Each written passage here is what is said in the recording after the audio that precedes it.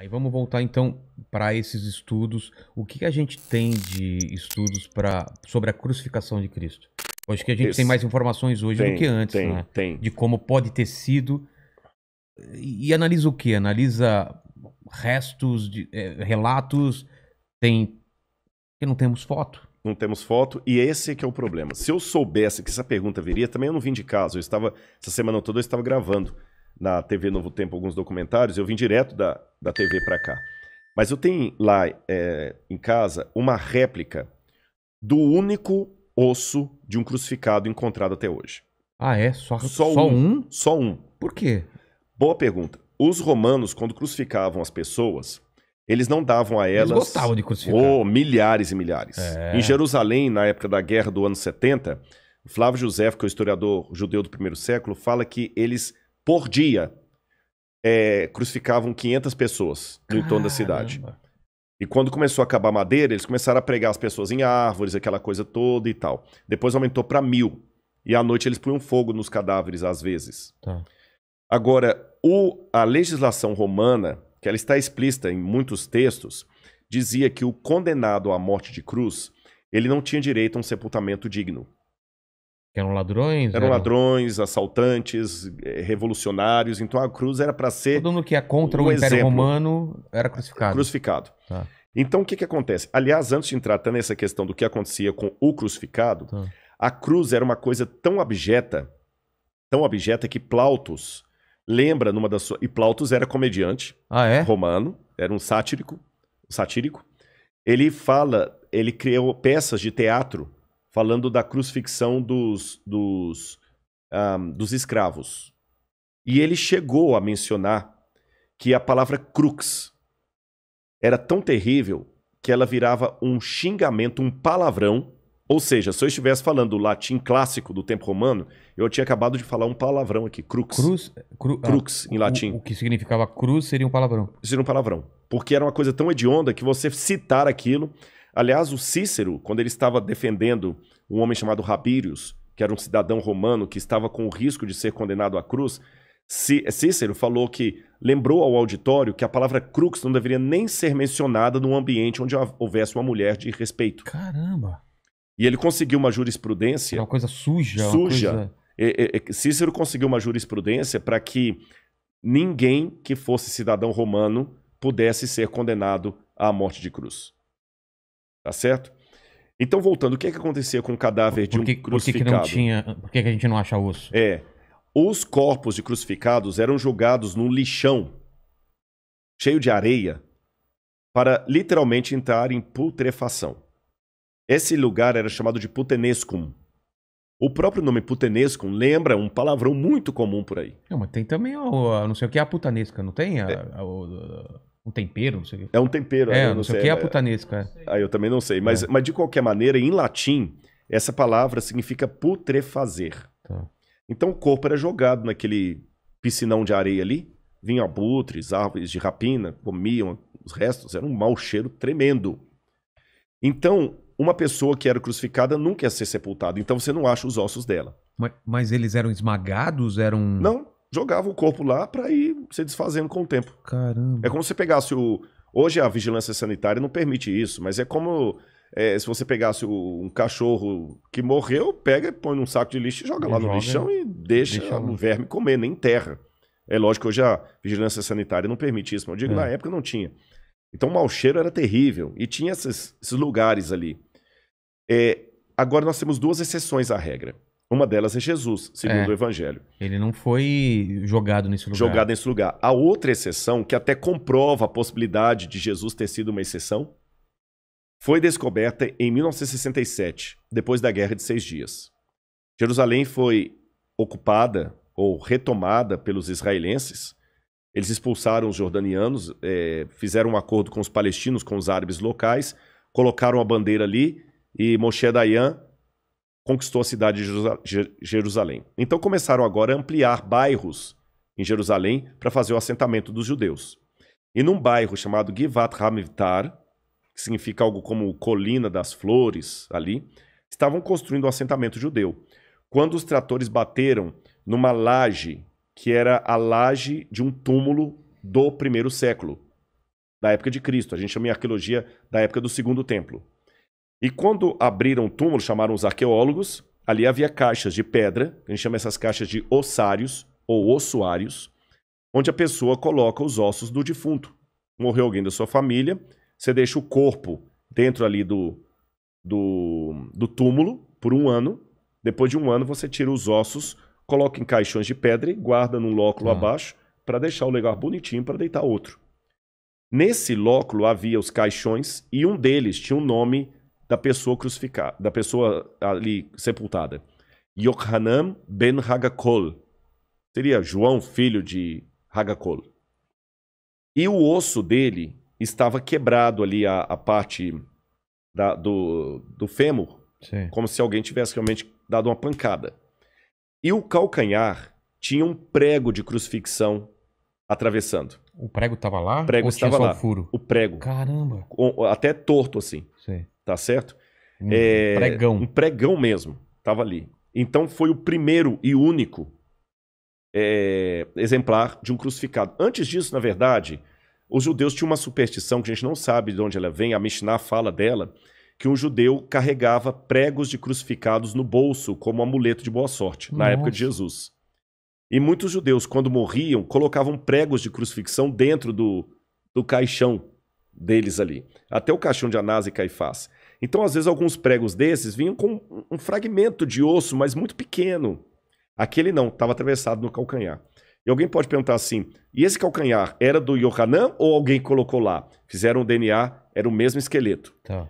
Só que com o prego atravessado ali, era um rapaz de 1,68m, talvez de família rica, que conseguiu uma exceção, foi crucificado, mas teve o seu corpo preservado. Sepultado. E ali o Dr. Tsaferes da Universidade Hebraica de Jerusalém, juntamente com o Dr. Saas, fizeram levantamentos legi eh, de legísticos de como aquele corpo estaria na cruz.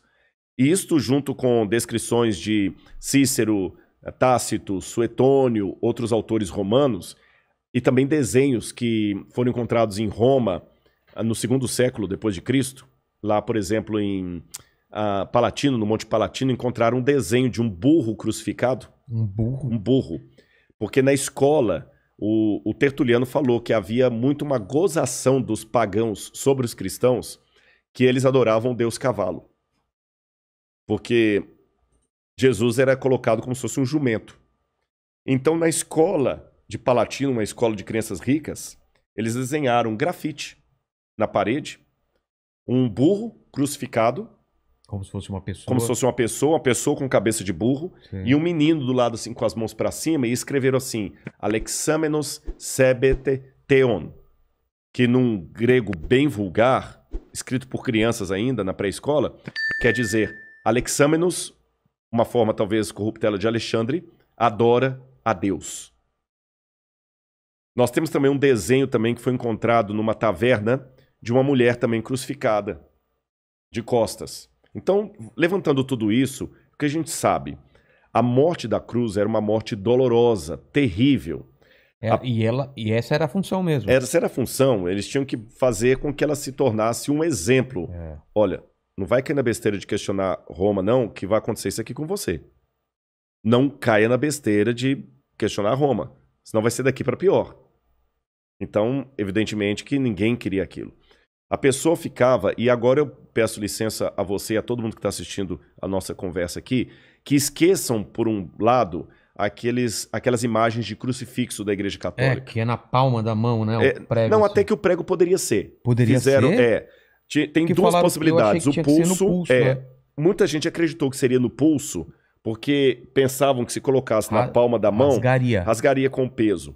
Mas a postura que a pessoa ficava, o crucificado, primeiro que havia vários tipos de cruz. Você tinha a timissa, a comissa, a decussata. Eu vou falar da cruz latina, que é mais provável ter sido essa cruz de Jesus Que é o que a gente conhece. que é a que a gente conhece. Ele colocava os pés, deixa me ver alguma coisa para ilustrar aqui. Vou pegar aqui. O que, que você precisa? Um canudo, não? Não, isso aqui resolve. Tá. Imagina que isso aqui é o madeiro da cruz. O que, que Tá é, ma- que, que é madeira? A madeira da cruz Ah, mesmo. o- a madeira. principal. A principal, que a gente chama de stips. Tá. Stips. Se você tiver um canudo aí, vai ser É melhor, melhor, então. é. Dá dois, então, por favor. Ele tinha o stips, que ficava assim, tá bom? E o patibulum, que ficava assim. Tá. O patíbulo era a parte que a pessoa carregava. Essa, essa daqui. Esse é o travessão. Tá. Ele carregava o travessão até a cruz, até o local do crucifixão, com a mão aqui assim. E ele- eles penduravam aqui no pescoço da pessoa uma placa de madeira com a, a inscrição da condenação dele, Do crime. do crime, bandido e tudo mais. Essa placa, que essa inscrição chamava-se títulos em latim. E essa placa chamava-se ah, eh, tabuli. Tabuli, de onde vem a palavra tábua Ah, tábua. E quem escrevia a inscrição na tábule era o tabeliones. Daí que vem a palavra tabelião.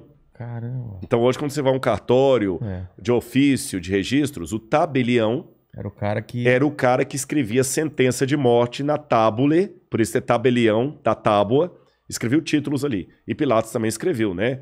Jesus de Nazaré, rei dos judeus, em latim, grego e hebraico. Mas foi uma certa ironia. Ironia com os judeus, com é. certeza. Então Jesus carregou aquela tábua aqui e o patíbulo, que era o Tá. travessão. Quando chegava lá, eles montavam a coisa, Amarrava. amarravam, montavam, crucificavam a pessoa Se quiser colocar aqui, tem uma câmera aqui em Tá. cima também. e aqui levantavam a cruz. Eu acho melhor você levantar só para o pessoal, Tá. você já sabe onde está justamente a cruz, a câmera posicionada. Tá. Agora um detalhe, a pessoa que era colocada aqui, aí aqui eu vou precisar, só me orienta se eu estou apontando para o lugar certo. Não, é pra essa câmera. É para essa aqui, É. olha. Os pés da pessoa eram pregados um desse lado, Tá. o outro do outro lado. Ah, assim? Assim. Por isso que eu ilustrei aqui, ó. Ah, como se fosse um cavalo. Como se fosse um cavalo. Ela montava aqui, ó. E aqui no meio tinha um pequeno banco chamado sedícula. Um- uma saidinha. Uma assim, saidinha que a pessoa Apoiava a, apoiava ali. a, a- a bunda? A bumbum? Exatamente, claro. Apoiava ali e ficava com as mãos dessa posição. Ah, então não era tanto peso aqui pra segurar. E ele, alguns casos, a pessoa nem tinha a crucifixão com os pregos mostrados para cá a palma. Ele ficava com a mão Por trás? por trás assim, eles crucificavam aqui. Ah, tá. Agora, se você perceber, a minha voz mudou de tom É, quando eu fiz esse gesto. Porque quando você faz aqui, você É. comprime o seu pulmão. Se eu estivesse pendurado literalmente na cruz, eu estaria com o ciático também comprimido, Total. numa dor desgraçada. E pra- Segurando pela, o pé mal apoiando mal do apoiando lado. do lado, você segurando ali. E para você poder respirar, eu não estou fazendo aqui um exercício, é de Ah. verdade. Eu tô com dificuldade aqui. Você daqui a pouquinho para respirar, estão vendo que eu fiquei mais ofegante? É. Você tem que erguer, tomar fôlego Ergui- e cair Apoiar pelo pé ou pela, pela pelos bunda? pés do lado. Ah, tá. Porque a- Apoia assim. Apoia assim, você se levanta e cai de novo. Caramba. Você tá entendendo? E, e o banco Isso, te- isso repetida, repetidas vezes, de quando em vez você tem que, que virar. Por isso que os ladrões que estavam com Jesus, quando eles queriam apressar a morte dos ladrões, eles aplicaram algo que em latim se chama crurifragium. Você quebra as pernas da pessoa, Ai. ou no fêmur, alguns, às vezes no fêmur, às vezes também é tíbia, né, que é o outro É. mais abaixo aqui. A pessoa então com a perna quebrada não não conseguiria consegue- fazer, aí em pouco tempo ela já ia morrendo asfixiada e ia sufocando, Ah, cara. sufocando. Por isso que eles quebraram os pés dos ladrões Tá. tá certo? Esqueça também outra coisa do crucifixo.